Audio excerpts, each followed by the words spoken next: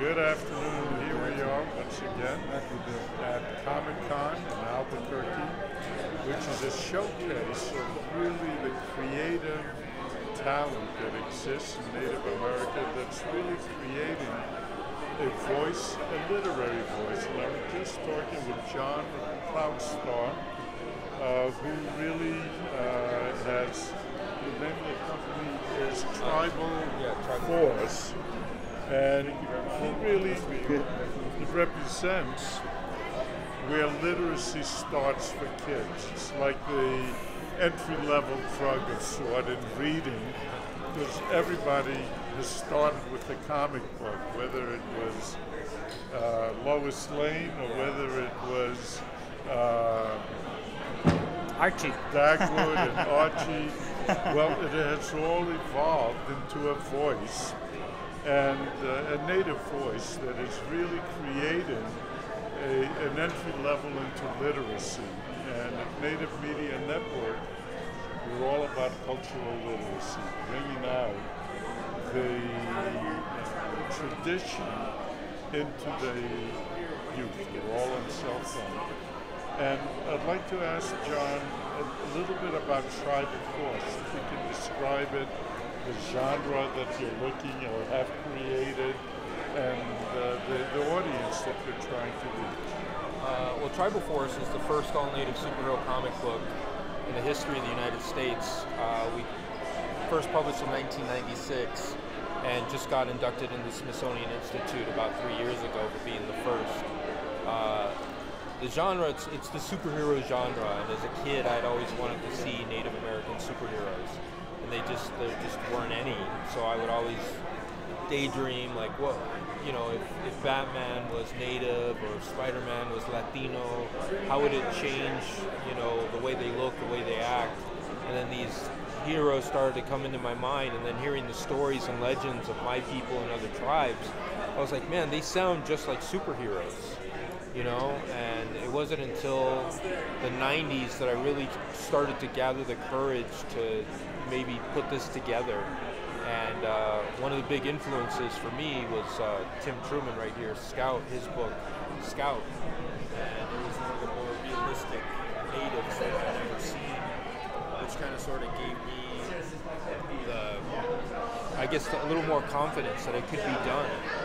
Uh, you know that that media, the entertainment world, was looking for our stories told from our perspective, because it's always been told from somebody else's point of view.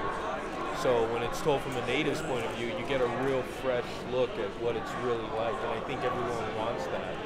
No matter what culture, if you're going to read about Italian people, you want it coming from Italians. You read about the Jewish people, you want it coming from the Jewish people. You want that authentic voice you just you don't want an interpretation of who they are. You want to know exactly who they are.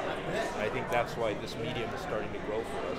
People are finally saying, "Hey, we want to hear it from their side."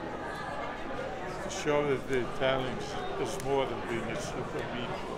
Yeah. Really show the, the essence of being an Italian. Yeah. What a wonderful, really concept. Can kind of introduce us to that? Because I had never thought of Native American superheroes, Yeah. heroes, but really, all of Indian culture is Yeah. all about superheroes Yeah, and the, the positive role models and stereotypes that are. Well, yeah, they were heroes before they were heroes. You know, our stories are thousands and thousands of years old. That predate Superman, predate Hercules, and all these other characters that people say, oh, those are the original. It's like, well, no, not really. These are the original heroes that you guys drew from. Uh, but it's good to see all these young, you know, creators here adding their voice to their tribe. And that was another reason uh, Ryan Huna Smith, the original artist of Tribal Force, and I, uh, we came out hoping that we would encourage other natives to say, hey, look, those guys did it. Maybe you know, me and some other guy can do this for our tribe. Because there's over 753 independent tribes, federally recognized tribes in America. So I, I can't write a hero for every single tribe. So it's awesome to see other kids from other tribes take on their own personal heroes. And it, it just, it has a, I, I think any tribe would appreciate me writing about their tribe, but it means something more when uh, a member of your own tribe is doing it. You know, it comes to a special place and special pride. And uh, Tim and I were talking earlier how important it is, you know, to show native role models creating those pathways to success. If you don't have them, you know, it, it's hard to imagine yourself doing anything else other than what you grew up around. But if one person comes out of your neighborhood as a success, you can always say, hey, that guy lived right down the street from me. He's no different than me.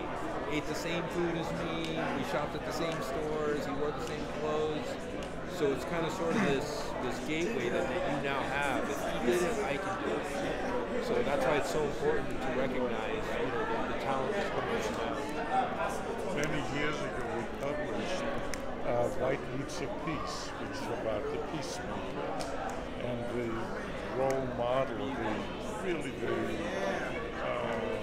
system of governance that he brought about with the Iroquois people. It still holds through today, and in fact influenced the writing of the Constitution. Yes, it the did. You Iroquois people were right there at Constitution Hall in Oh Philadelphia yeah, the, the seven passing notes back and forth through the window. The only thing they missed is real estate law. they missed that one. But uh, we keep trying. Yeah, yeah. Uh, it's wonderful. I, I think this is how do people get your comic Uh, it's Say it slowly. Okay, it's going to be available through Native Realities. Uh, they're the ones sponsoring the Comic Con. Uh, so check Native Realities out. You'll be able to buy Tribal Force there. It'll be an ongoing series. So yeah, check it out, please. TribalRealities.com. Native Realities. NativeRealities.com. Yeah, it'll be Tribal Force. And look for tribal force. Thank you so much. Thank you. Now, so